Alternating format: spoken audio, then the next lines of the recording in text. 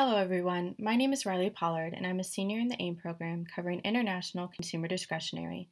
Today, I will be pitching Cimpress, ticker CMPR.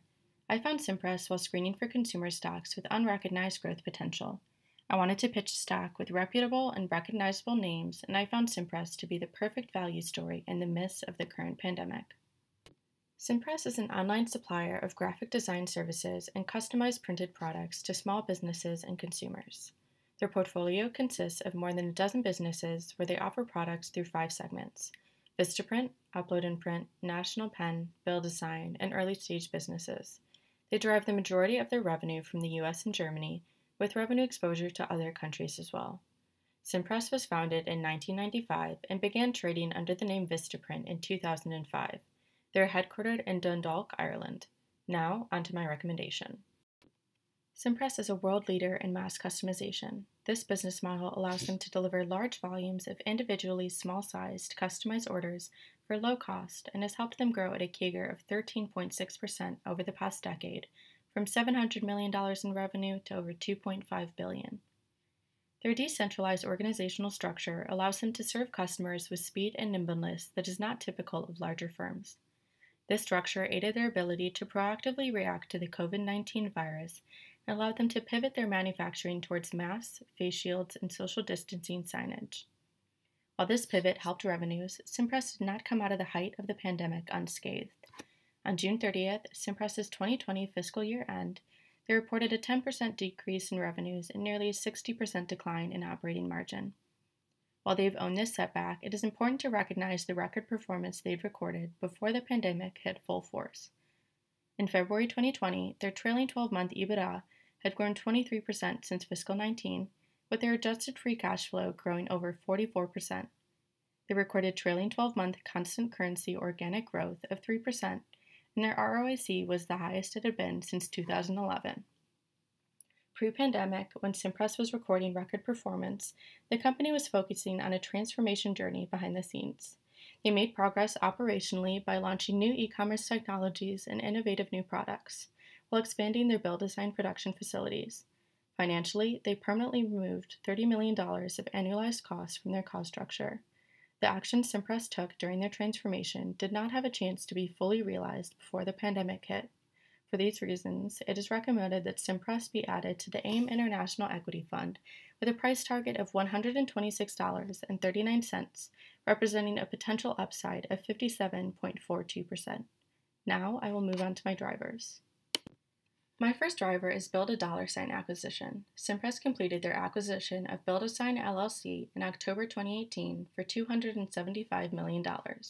Build a Sign had a strong year both before and during the pandemic. Notably, it is the only Cimpress business component that grew in the last four months of fiscal 20.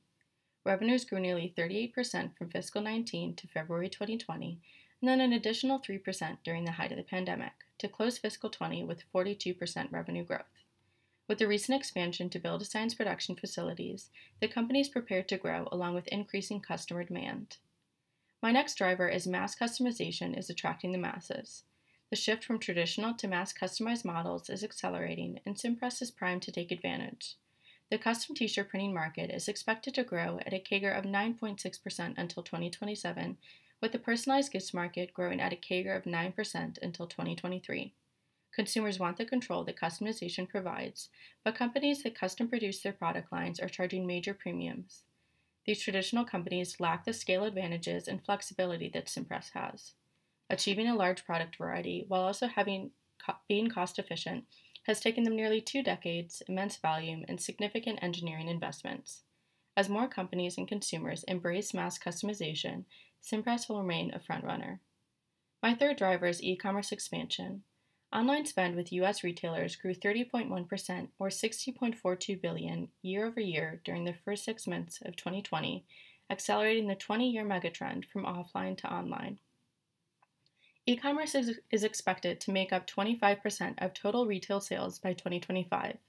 In fiscal 20, Cimpress launched new e-commerce technologies and invested in cutting-edge and best-in-class technology, focusing heavily on their Vistaprint segment.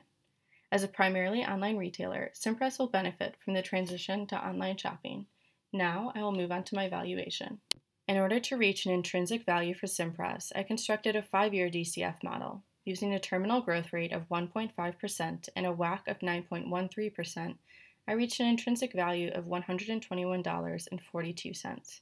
A sensitivity analysis of plus or minus 50 basis points and the terminal growth rate and the WACC ranged from $109.51 to $136.96.